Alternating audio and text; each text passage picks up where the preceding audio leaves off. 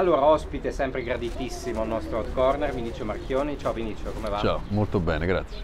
Noi ci incontriamo a Milano, sei venuto in redazione a Milano, poi ci incontriamo a Roma, a Venezia, facciamo insomma un po'... È la bellezza di questo mestiere, dai. Esatto. Senti, partiamo da uno dei motivi per cui sei qui a Benevento, che è Alfredino, che è la nuova serie Sky, la prima puntata del 21, la seconda va il 28. Che effetto ti ha fatto tornare in quel eh, incubo poi a tutti gli effetti? Ma sai, è stata una responsabilità enorme. da subito, insomma, devo dire grazie anche al, al, alla regia di Marco Ponte Corvo, che è un regista con una sensibilità, una grazia, sì, un tipo di tocco eh, giustissimo secondo me per questa storia. E da subito con lui e con il resto degli attori, da Anna Foglietta per prima, Luca Angeletti e tutti gli altri, Francesco Acquaroli, eccetera, eh, senza, che ci, senza, che ci, dicessimo niente, mm. però si è creato da subito, cioè era come se tutti quanti ci, ci fossimo sintonizzati da subito su un'etica, su un tipo di rispetto eh, per questa storia e tutti quanti è come se avessi, io ho sentito da subito la sensazione di un'opportunità per essere un grande megafono dell'Italia, nel senso che chiaramente in quei giorni di 40 anni fa, come sappiamo, si, si è fermata l'Italia, sì, la prima diretta. Uno dei, uno dei rari momenti di unione nazionale del paese. E quindi quando mi sono ritrovato sul set come attore con 40 anni di, di distanza, è come se avessi veramente sentito la concentrazione di tutta l'attenzione italiana che c'è stata durante quei giorni. Quindi ogni volta che parlavo, eh, ci sono delle scene nel, nella serie in cui parlo con Alfredino, eccetera, Lì è stato molto difficile perché sai, lì devi dividere dire, l'uomo, eh, l'uomo, l'uomo, il padre, eh, dall'attore, dal ruolo. E questo è stato veramente uno, insomma ci sono state due o tre scene veramente molto complicate da fare. Mi auguro che esca un equilibrio e mi auguro che esca anche quell'unione, perché penso che questa serie sia proprio la possibilità di ehm, riunire l'Italia ancora, come si è riunita 40 anni fa, perché ci riuniamo sempre davanti alle partite dell'Italia, no? che è una cosa meravigliosa. Durante quei giorni invece l'Italia si è riunita davvero da nord a sud, dimenticando ogni differenza, ogni cosa che ci divide quotidianamente e mi auguro che questa serie possa fare in qualche modo la stessa identica cosa. E ultima cosa, sono felicissimo io ho, del fatto che ho interpretato un vigile del fuoco, perché sono straordinari, perché fanno un, un, un tipo di lavoro incredibile, arrivano prima di tutti e vanno via prima che arrivino le telecamere. È vero. E, e, e sconosciuti anche. No? La loro preparazione, la loro competenza, il loro coraggio, la loro praticità, il loro cuore e l'umanità con cui gestiscono delle situazioni di una difficoltà e tragicità molte volte incredibili, sono molto felice di, di, di, perché è un, è un, onore anche portare quella divisa lì. Insomma. Senti, qui a Benevento, che è appunto il paese cinema e televisione, tu sei perfetto perché eh, Fredino, poi hai il nuovo, nuovo, film di Daniele Vicari, Il giorno notte girato durante il lockdown, e poi però c'è pure teatro con questo nuovo progetto molto affascinante e molto attuale che Sposerò Biagio Antonacci, che tu dirigi con Milena Mancini. Sì, Sposerò Biagio Antonacci è un lavoro a cui pensiamo da, da molti anni ormai, perché... Che nel titolo cita però il famoso sposerò Sì, sposerò Simon Le Bon, ma perché? Perché la difficoltà nel trattare una, un argomento come il femminicidio e la violenza sulle donne, argomento di cui non si parla abbastanza mai, la difficoltà di Milena che ha scritto questo testo, oltre ad essere eh, in scena, era quello che lei voleva trovare anche una, un, un, equilibrio, anche qui, che, un qualcosa che potesse essere facilmente con, ehm, condivisibile con un pubblico. Voleva trovare anche qualcosa di leggero all'interno di questo argomento qui, cosa ovviamente molto difficile. E, e un anno fa invece, la, riscrivendo, rilavorando, riparlandone, ha immaginato che questa donna, la protagonista di questo spettacolo, potesse avere un'utopia, un, uh, un, sì, un, il grande sogno che in qualche modo nella quotidianità la potesse portare via da quelle mura domestiche e trovandolo in, in, un, in, un, cantautore amatissimo da, da, soprattutto dalle donne che ringrazio davvero anche a nome di Milena. Appoggiato, no? appoggiato sì, perché noi per, per, per, utilizzare questo titolo naturalmente abbiamo dovuto chiedere l'autorizzazione, eh, Biagio ha voluto leggere questo testo, dopo averlo letto ci ha invitato dentro casa sua Milena gli ha fatto una prova dello spettacolo eh, lì ah.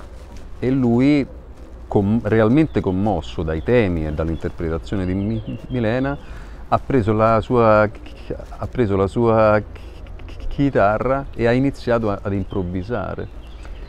Dice perché qui io metterei questa cosa, guarda se ti può suonare bene, guarda se ti è utile emotivamente, guarda qui, guarda lì ed è stata un'improvvisazione, una creazione lì per lì e questo devo dire gli, gli fa veramente onore perché è il suo modo di essere, di appoggiare questo tema. Insomma. Ma scusa, quindi dopo la prima che farete adesso a Napoli c'è l'idea di portarlo in tour? In Assolutamente sì, il problema è trovare le date, nel senso che purtroppo non penso che riusciremo a portarlo in giro prima dell'autunno 2022 perché a causa dell'anno e mezzo di certo, pandemia la, sì, ci, bisogna prima recuperare tutti gli spettacoli che sono stati bloccati, le, le produzioni che sono state bloccate e poi si potrà portare in scena. Però stiamo già parlando con molti teatri e spe, speriamo davvero di poterlo condividere con la maggior parte del pubblico in Italia. Insomma. Senti, io ti faccio la mia domanda preferita perché tu sei sempre tra cinema, appunto teatro e tv. Se dovessi scegliere però, viene qua uno e ti dice no Vinicio basta, una, devi sceglierne una. Altrimenti via. Teatro. Teatro, eh? Sì, sì. Teatro. Ma come sei stato male nell'anno in cui non hai potuto...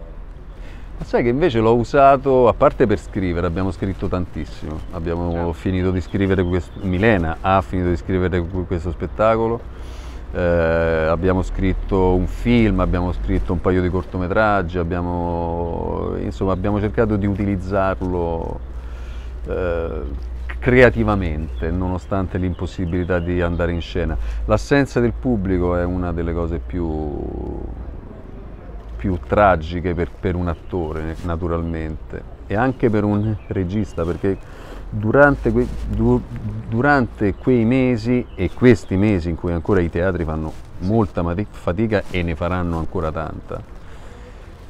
La cosa che mi ha fatto riflettere molto è che ti chiedi davvero che importanza abbia il tuo mestiere nella società, cioè che, che cosa se ne fa la società di un attore che nel momento in cui i teatri sono chiusi non hai una casa, non hai un luogo, hai, e quindi ti chiedi veramente a che servi in questa società qui, in cui siamo, siamo stati, come dire, sorpassati dagli influencer, da, da tantissime eh, figure che, che, che, funzionano molto di più.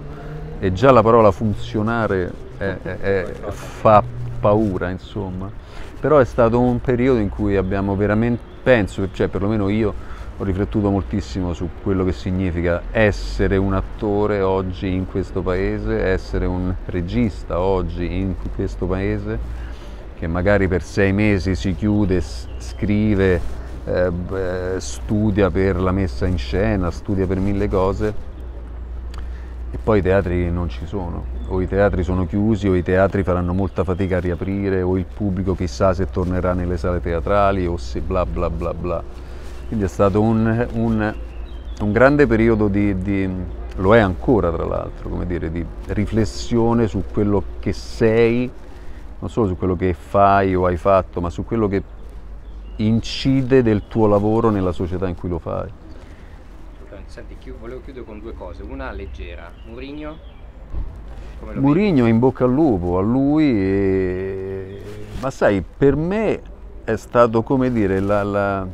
cioè dice wow, qui si stanno cercando di fare cose serie. Eh.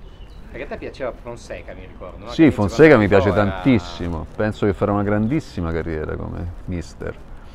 Eh, però la piazza di Roma, sai, è difficilissima, è una piazza infernale. Credo che Murigno sia abbastanza rodato mm. e abbastanza pazzo sì, sì, da pazzo, poter avere a che fare con una piazza come Roma.